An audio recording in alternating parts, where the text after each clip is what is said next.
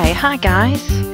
Today I'm going to be showing you how to set up the newsletters widget to show everybody on your site the latest newsletters that you've created and that you need to send out to parents and also how you can add in the subscription management section which is there so that parents want to add any email addresses if they've changed theirs or if the new parents to the site they can add in their new email address and their name. Um, and that'll be added onto your subscription list um, which is good. So when you press send everyone that's in your subscription list is going to receive that latest newsletter. So first of all if you'd like this on the home page then all you need to do is go to manage and then down to newsletters now in here you can see we've got some test ones.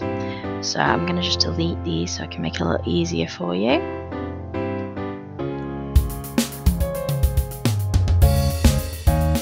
Now you would go to add newsletter.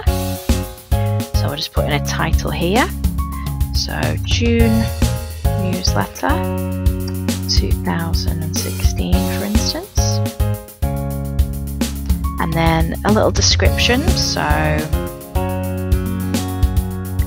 trip to the zoo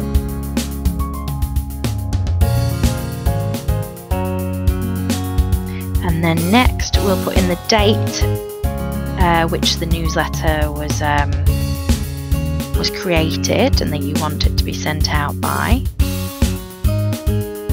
so I'm going to say it was the 1st of June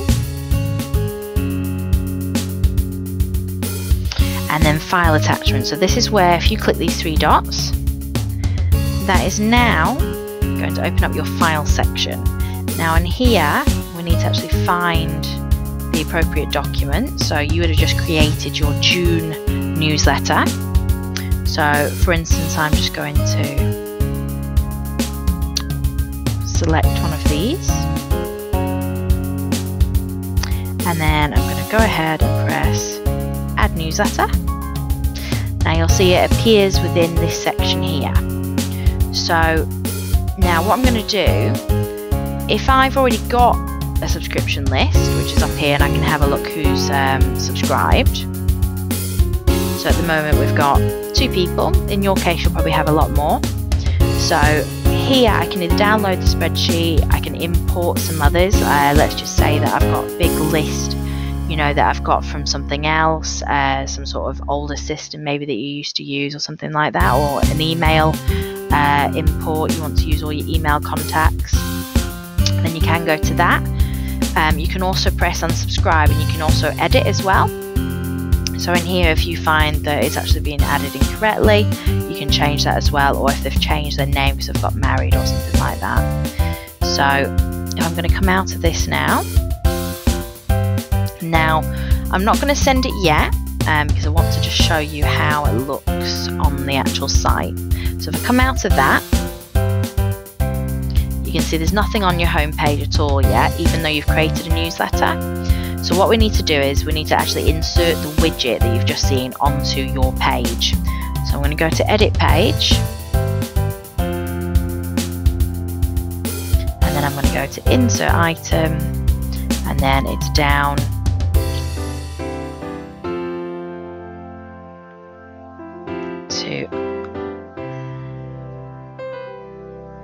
sorry this has been a bit awkward on here. Here we go down to latest newsletters it's going to ask me where I want to select it. Where do I want to add it? So I'm just going to put it right here at the top so you can see. Okay latest newsletters there are currently no newsletters Okay, so I'm just going to save page and publish.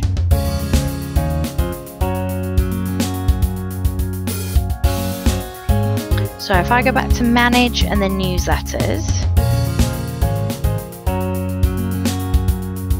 this will show me what should be in there. So it does say June newsletter 2016. Now that's not showing because I haven't sent it yet. So it's quite good really to show you that in case you think you have sent it but you haven't, it won't actually show up unless you press send.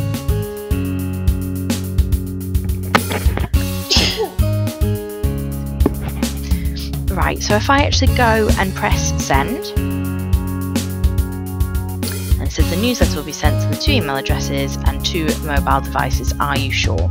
So in your case, you'll probably have a lot more. I'll just press send, and it says your newsletter has now been sent. So if I click off this, and I actually just refresh the page,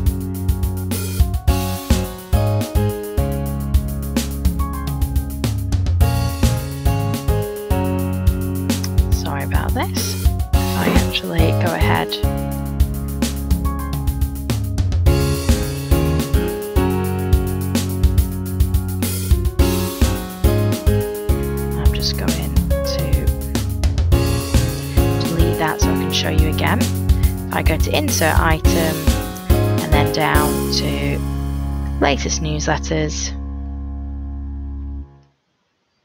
Hmm. I don't know why that's not showing.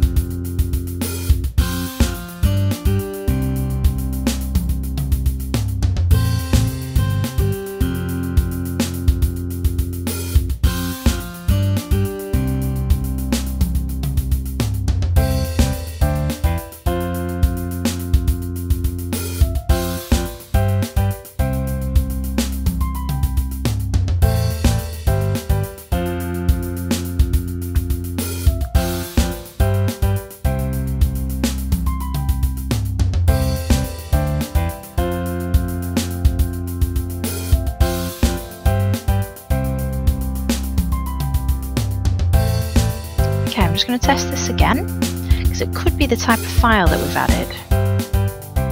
So I'm just going to put in here test newsletter. January 2017 and add a little description so trip to the seaside.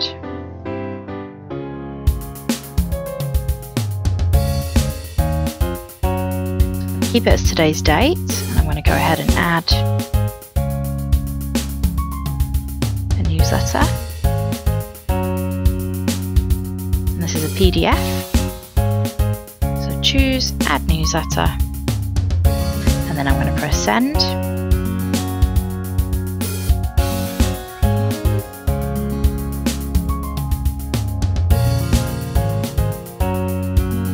So I'm just going to go to insert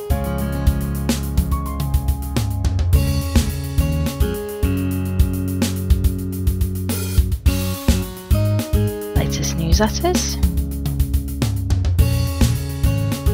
Right, so we can see it now, it has actually come up.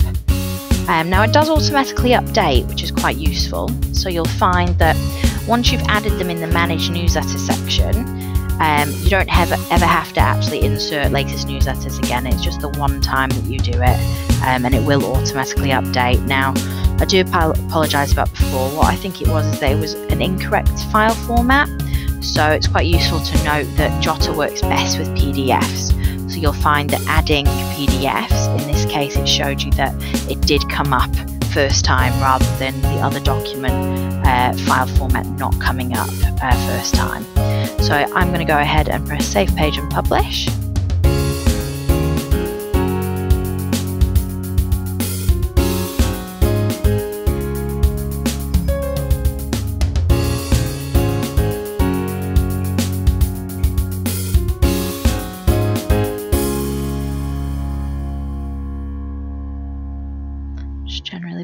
Little slower than usual today.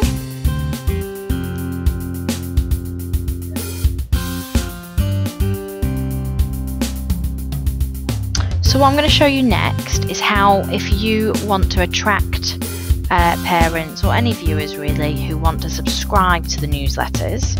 Obviously it's much more informative if you have a lot longer list really uh, so you can get your information out there. So if we go to edit page instead of going to insert and latest newsletter, because you would have already done that, and you don't need to do it again, you're going to be going to insert newsletter subscription. Now this is the same, you'll only need to do this the once, unless of course you delete it and you need to do it again. So I, it tends to be best having the newsletter subscription widget next to the newsletters widget really, because they're about the same thing. So if I actually click there, it's going to bring up latest newsletter subscription. So it comes up with the box. I can then move that to wherever I want to, if I want to have it above the latest newsletters or below. And then I can go ahead and press save page and publish. And then they appear above each other, which is really handy. Um, now, another thing to note as well is you can have um, your latest newsletters list be as long or as short as you would like. So after a while, each week or each month, when you're adding new new, uh, new newsletters, your list is going to become longer and longer. Now, some people want them to be the longest, um, so that every single one that you add will show. Some people don't want that, and they feel like it takes too much room up. So if I actually go on and click this in edit mode, it actually brings up section here which says newsletters 5 so you can click that and make that go to 40 that would be the highest amount. So if I had 40 newsletters added in the in the um, in the section where you go to manage newsletters then all 40 would show here. But if I only had it set to 5 only 5 are going to show. So I'm going to just press update save page and publish and that is how you add the newsletters to the Manage Newsletters section, how you add um, and insert the latest newsletters widget, and also how you add the subscription box so that it makes it uh, easier for people to subscribe. Um, and that's everything. Thank you very much. Bye bye.